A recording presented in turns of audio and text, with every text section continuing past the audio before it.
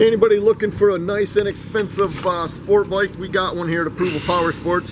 This one's a 2011 Kawasaki EX250. Uh, you can't go wrong. We got this thing priced right, 19.99. So it has a rebuilt title. Could be theft recovery. By looking at it, it's a nice clean bike. It's not all uh, boogered up. Good looking bike. It's only got 5,063 miles. Uh, it's street legal, ready to go. Uh, run strong. All the fluids have been changed. Blue Book is $3,200, so you guys can save big at $19.99. Can't go wrong. Keep an eye on our website. It's approvalpowersports.com. We got over 600 used bikes. We got, there goes a rider. We got guaranteed financing. We got out-of-state financing, nationwide shipping. Call today and you can ride today.